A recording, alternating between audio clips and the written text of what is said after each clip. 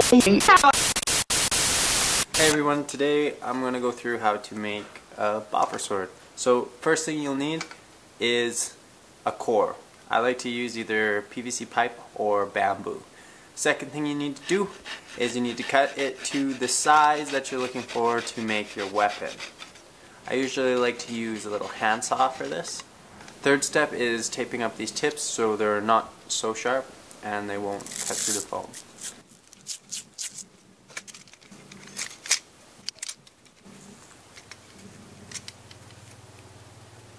Fourth step is to take a proper measurement of your pool noodle.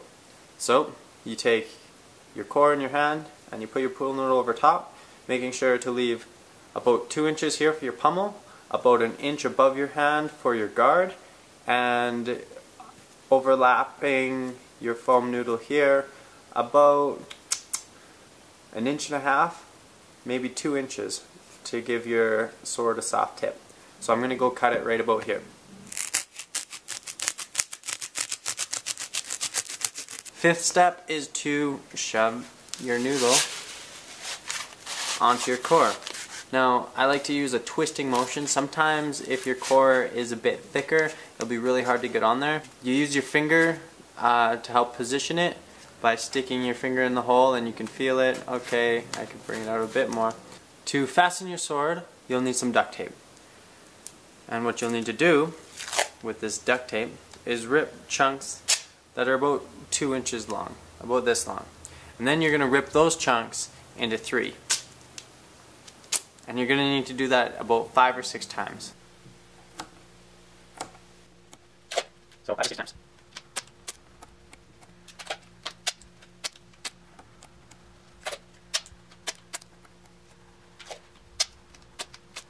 And what you're going to need to do is place this tape on the foam like this.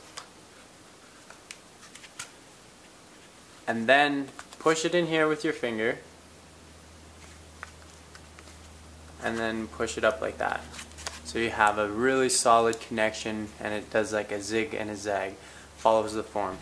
And the next one next piece of tape you just overlap it slightly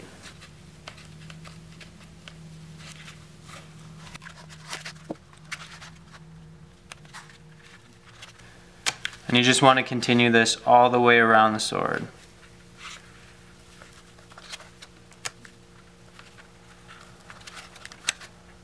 Now we can pick up the pace. And you want to go all the way around so that there's no foam showing. Everything's slightly overlapped. After you get this completely covered, you want to bind all of this together right here so that it gives it that much more strength. To do that, you get a chunk about five to six inches long and you rip it in half split it straight down the center and then you just place that here like this over top. And then I just spin that around. Alright the next step is to do the tip and what we're gonna need is two more of those five to six inch pieces tear it in half. To do the tip, hold the sword so that you can see and you take your first piece of tape and you place this piece of tape over the center hole. Almost perfectly in the center, alright? And you'll need about five. The next one, you do the same thing.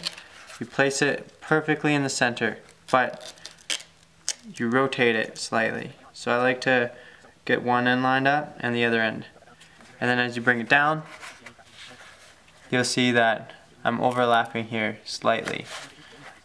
So the last one to just finish it off, no problems here, boom. Next thing we have to do is cover the blade. You take your duct tape, lay your sword on your lap like this, measure it out, rip this, and then you just want to place this on here. Try and get it so it's not wrinkly.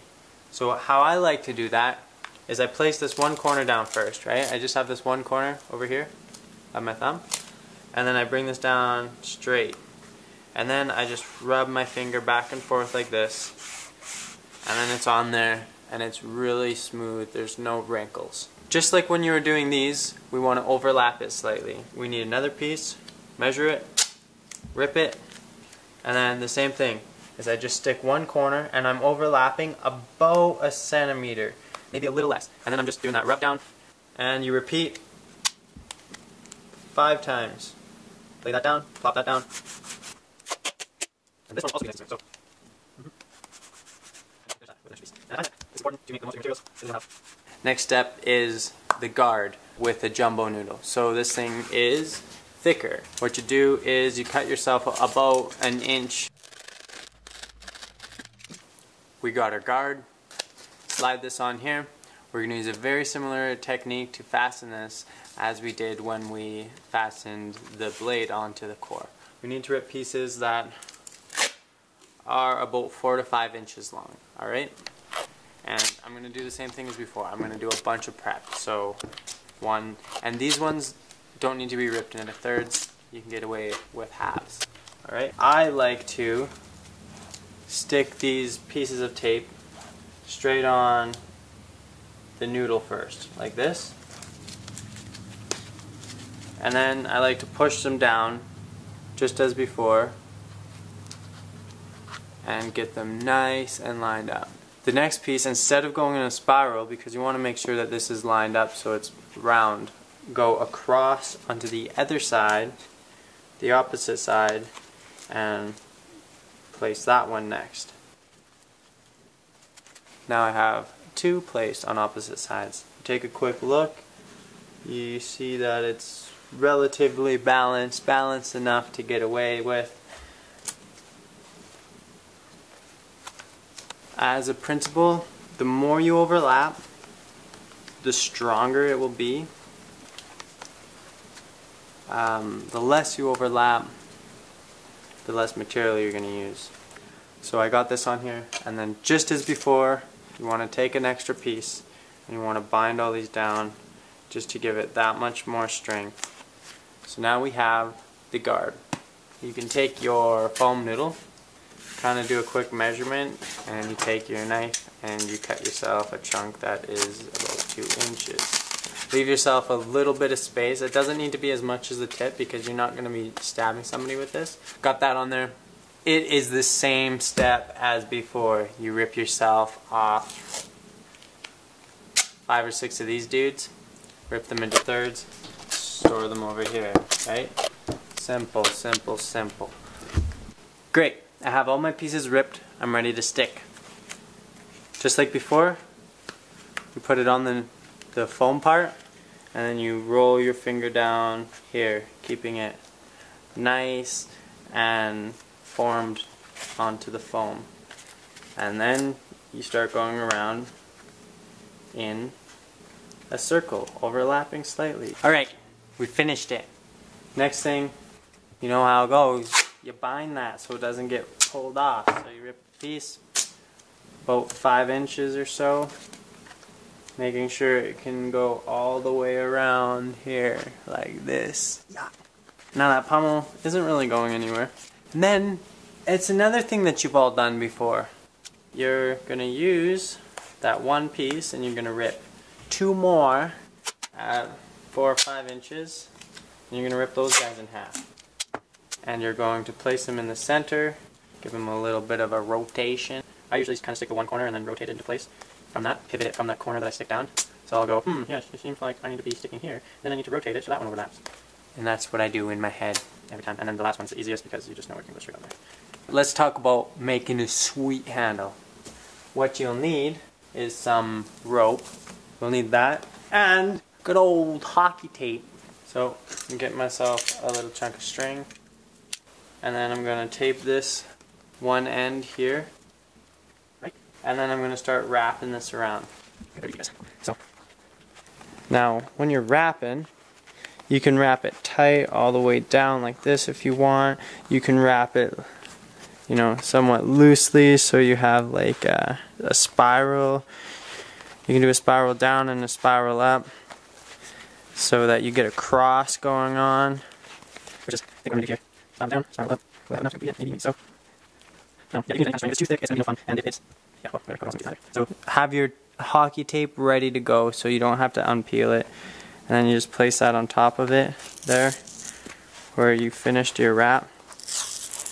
And you just make sure that you cover all of the rope up.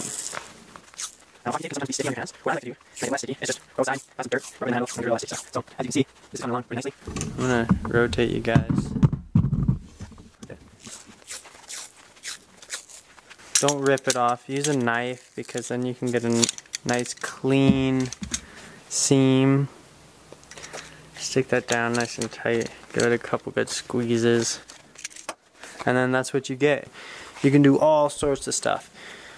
Uh, it hasn't been colored. You can lay some strips of tape, you know, up in here and then cover it, bind it this way so then you have a nice colored cross guard and you can do the same thing with the pommel just have fun guys. And that's how you make a foam sword. That's basic foam sword. All the foundations. Just color it up and have a blast. All right